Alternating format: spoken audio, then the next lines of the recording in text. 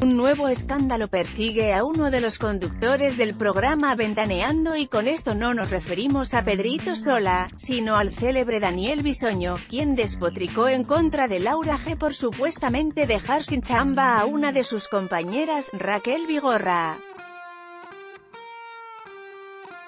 En la actualidad, el presentador Daniel Bisoño es uno de los periodistas más polémicos tras su forma de presentar la información sobre los famosos y los comentarios que en ocasiones lanza.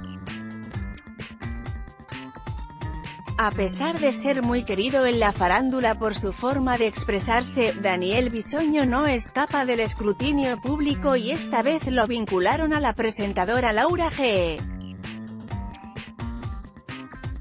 Un video de HR Nota señaló que el percance se registró cuando en una entrevista, el periodista Daniel Bisoño arremetió en contra de Laura G al referir que no tenía nada que hacer en TV Azteca, situación por la que su comadre Raquel Vigorra no pudo permanecer en la firma de la Jusco.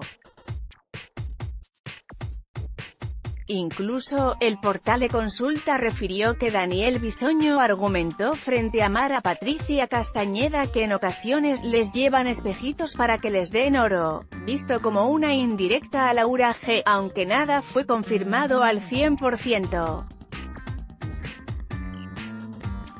Daniel Bisoño se preguntó qué hacía Laura G en TV Azteca, dejando mucho que desear en su labor como presentadora.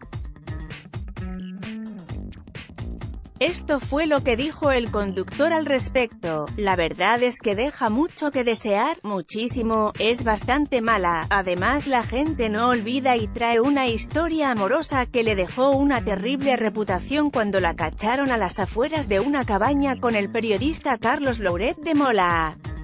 HR Nota subrayó que, al desplazar a Raquel Vigorra del club de Eva para darle el lugar a Laura G, el presentador Daniel Bisoño quedó muy dolido con TV Azteca.